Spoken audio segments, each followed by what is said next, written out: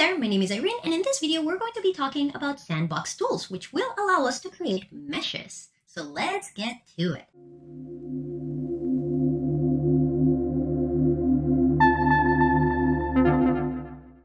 Alright, so before we can get started, we need to find where our sandbox tools are.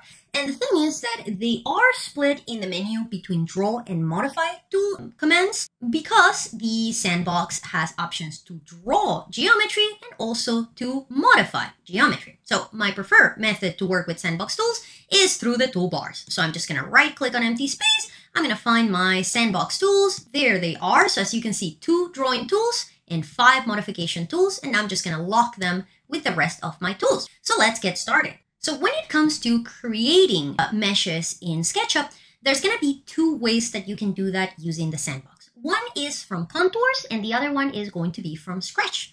Now, I'm to start with the contours just because it's an interesting one, but in order to do that, I need some contours. So I'm to quickly draw some.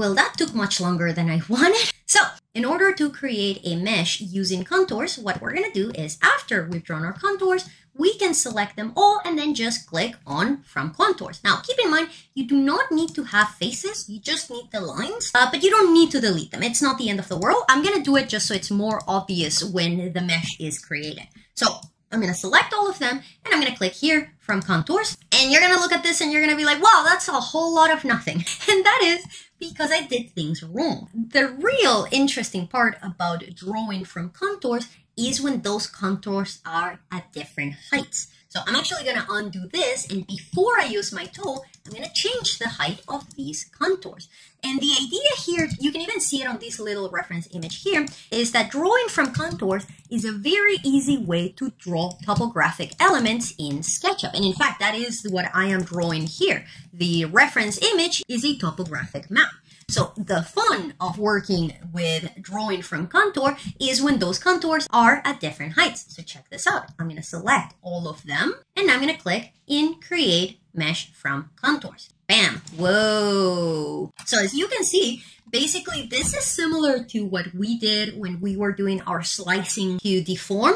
It's just that SketchUp is automating it. Now, one thing that I want to clarify, if you are tempted to use this instead of the slicing method, I have bad news. It doesn't really necessarily work. So for example, let's say that I'm going to do this box here and I'm going to copy it. I don't know. I'm going to put it here and I'm going to go slash five. Just, I don't need a lot of variety. And let's say I'm going to change some of them. Some of them are going to be bigger. Some of them are going to be smaller. Some of them are going to be in between. I just want to show you what's going to happen. If I select all of these guys and I go to create my contours, it's not really going to work. And this is for one main reason. This command is intended to create topographic surface. So by default, it's only going to want to recognize horizontal surfaces. So any surface that is vertical, it's not really going to quite understand what it's supposed to do with it. And it also cannot create enclosed geometries. It basically just wants to create blanket objects, so to speak. Okay, so this is not going to be your silver bullet to create all complex geometry, but it is a really good option for landscape design. Now keep in mind that when the surface is created, the contour lines are still there. So if you're not going to use them anymore, just make sure that you delete them so you don't have raw geometry left over in your model. And if we turn on hidden geometry, you're going to be able to see that those contours are still there. So if you later need to change the height or some other properties of this mesh, you can do so. The other way that we can create a mesh is just from scratch. So basically means we're going to draw a rectangle that is going to be broken into a reticule. So we're going to go from scratch. And before we start drawing, it is very important that you pay attention to the properties of this grid. So there's basically two things to consider. Number one is going to be the grid spacing. So this is how big the squares within this mesh will be. So by default, they are set up to 10 by 10 because remember, this is a topographic tool. So if you're going to be working with this tool in the context of interior design, you're probably going to want to reduce the size of that spacing. So let's say that I'm going to make it, I don't know, I'm going to make it six inches just so it's a little bit smaller. Uh, so once I do that, in order to create a mesh, you're going to need three clicks. One is going to be the origin, one is going to be the length, and one is going to be the depth.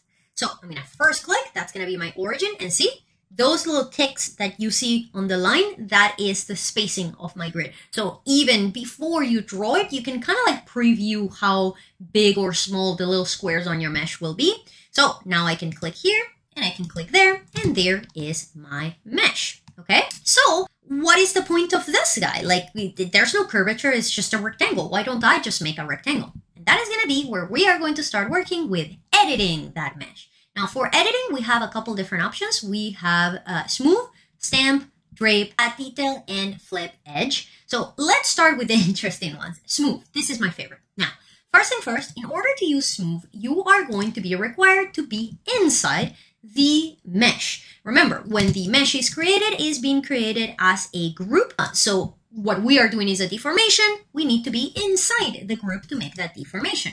So when we are inside, now I can click on my smoove. And now you're going to see that like it's actually showing me the command. So same as with my grid spacing, my smoove radius is going to be set up for landscape. So it's going to be pretty huge. In this case, it's 30 feet. So I'm going to make it a little bit smaller. Be careful. Do not make it the same size as the spacing. So my grid spacing was six inches. I'm not to make it six inches. I'm not even to make it 12 inches. I'm to make it, let's say, five feet. So I'm to go five feet. We can later change it if we want to, but this is to be good enough. So what Smoove is going to allow us to do is deform the geometry vertically but instead of just plucking in a point and pulling it up, like if I just come here and I pick up this point, that looks unhinged. If I want to do a softer transition, I basically have to do the same thing that I did in my banquet video, which is select each point, each line, and carefully move them, which can be a little bit of a, a little bit annoying. So what I can do with Smoove is edit many points at the same time. And basically what Smoove is going to do, I'm to click on this point, is this. It basically creates a radius from the point that I pick, where the deformation will be applied less and less as it goes away. So check out what's going to happen now. Ooh, see? So the point that I selected is being moved exactly the same as if I would just be using the move command. But what's happening is that instead of all the other points remaining in place, because this geometry is a mesh, the other points are being dragged up with less strength the further away they are from my origin point. And I can move this point up or I can move it down. So I can create a depression or a little hill. And I can do this as many times as I want introduce as much complexity as I feel like it. So this is why I was saying that you don't want your radius to be too small because if my radius is, let's say I'm going to make it one feet, it's going to be really, really small. So what's going to happen here is that if I go too high, you're going to get this like very pointy effect because again, you're not giving enough distance between the origin point and where like the final point doesn't change at all. So it's just going to do kind of like a sharp triangle. So this is one way that you can do it. Another way that you can do it, if you want to have like a mesa effect, like you want to have like a solid top, you can come here and select a bunch of points and lines and faces so we're gonna go to smoove and uh, before I go on and smoove, I'm gonna soften again my radius. Let's say we're gonna bring it back to five, there you go. And now what you're gonna see is that all of the elements that I selected have remained horizontal, but I'm still getting my deformation. So as you can see, this is a really fun tool to work with when it comes to creating topography or just irregular geometry. I like these commands uh, in the context of interior design if I'm creating any kind of like liquid surface. Let's say that I have a bathtub and I want it to look like it's filled up. So what I can do is create a mesh and then just create a little bit of ripples and then use my intersect with faces tool to kind of like cut out that like water profile so it fits in my tub or you can use it if you are doing any kind of like a mesh or fabric material that is just suspended or something like that. There's a lot of uses for this command in the context of interior design. And keep in mind, you can use smoove with uh, meshes, whether it has been created from scratch or from contours. So if I select this guy, I can still use my smoove tool on it. So just because I made this guy from contours does not mean that I cannot apply the same tools. And again, it's quite fun to work with. So that is the first option, Smoove. The next one is Stamp. So what Stamp is going to do is basically create a flat surface based on a profile. So let's say I'm going to come here and I'm going to make a little square. I'm going to move that square so it's a little bit higher just so it kind of like stands out from my little mountain. Let's put it there. Yes.